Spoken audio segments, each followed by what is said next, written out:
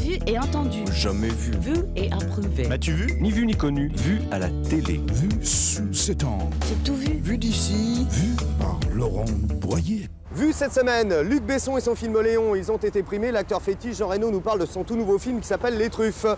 Francis Huster, après la 500e de la pièce, joue Faisons un rêve de Monsieur Sacha Guitry. Interview, il nous en parle. Enfin, Zouk Machine, ils ont signé la bande originale de Astérix le Gaulois, le film.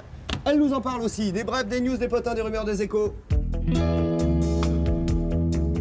Après Léon, il fallait faire quelque chose de beaucoup plus léger. Il fallait faire une comédie pour oublier euh, sept mois de tournage assez difficiles. Moitié aux États-Unis, moitié en France. Un film assez dur au, au niveau des sentiments et, un petit peu de l'ambiance de travail, quoi.